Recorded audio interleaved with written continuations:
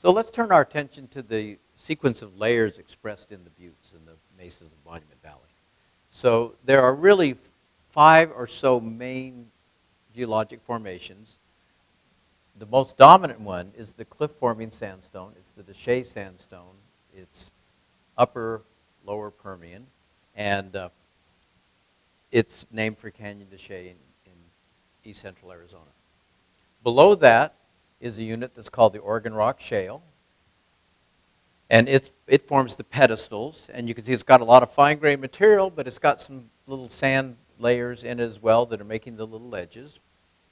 Below the Organ Rock, but really not very visible, maybe a little bit back in, in some of these places back here, there's another cliff-forming sandstone that kind of forms the whole bottom of the valley, and it's called the Cedar Mesa sandstone. Uh, it's also, uh, also uh, early Permian. And that's kind of the bottom that you see. On top of the cliff-forming sandstone, on top of the De Chelly, you can see there's some ledges of a, of, a, of a reddish-brown unit, and then there's an upper cliff. On top of these buttes, depending on where you are, there are two units. There is the early Triassic uh, Moenkopi Formation, and then there's the late Triassic Chinle Formation. The basal formation of the Chinle is a, a really resistant basal conglomerate called the Shinarump. And, uh, and so some of these, these buttes get all, all the way up into the Shinarump. And then the, the upper part of the Chinle is, is really easily eroded shales. It's the material that makes the Painted Desert and the Petrified Forest National Park. And it's got a lot of volcanic ash in it, so it's really easy to strip it off. So that unit's locally in the region present, but is not typically present in the buttes.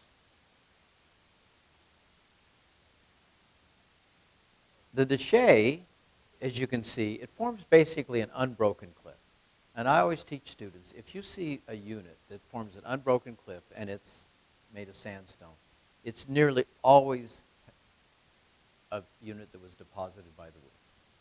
The reason for this is the wind is, is moving sand, but finer material gets blown out, coarse material gets left behind. So when you have sand dunes migrating across the countryside, you're just making sand. And so it's really hard to make discrete layers that stand out if all you're working with is sand. Now, there would be layers in here if you got the right, you can see some hints of layers in here. Uh, and there would be cross beds in here, the curved beds that are associated with, in this case, wind. Uh, so those layers would be there, but they're not very obvious. So in general, when you see a big unbroken cliff, whether it's here or in Canyonlands or Zion National Park, uh, those, those kind of rocks are usually deposited by the wind.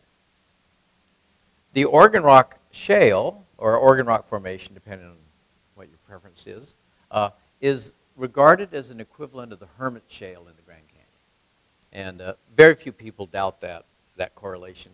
And you can see it's got a lot of fine-grained silts and muds. And, and the Hermit Shale commonly is called the Hermit Formation because it's got a lot of silt and it's not all shale. So uh, anyway, so that's the equivalent of that.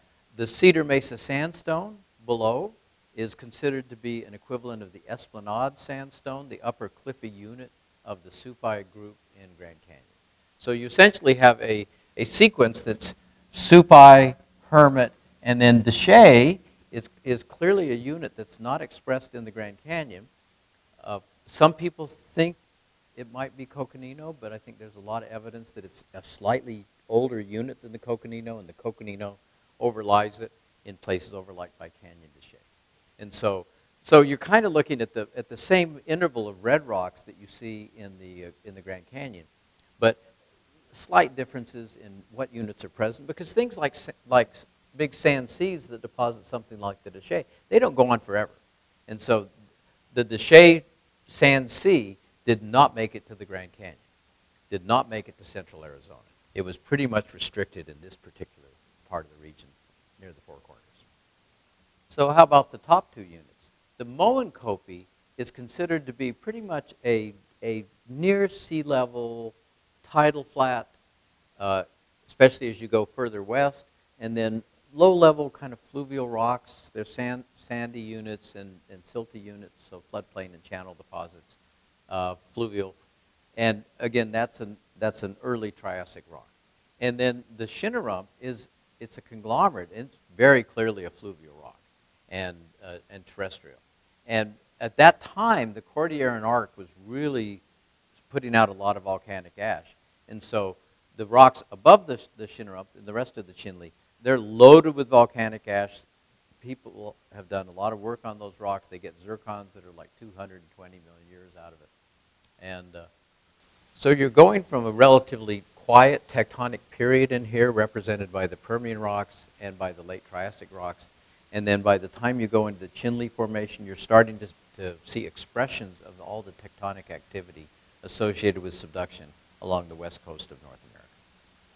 Although they're not in this scene, on top of the Chinle, there are a whole sequence of rocks called the Glen Canyon Group, and that includes the, the Navajo sandstone and the Kayenta and some of those other really well-known formations of the Colorado Plateau. They're, they were here and they were eroded away, and you know they're gone.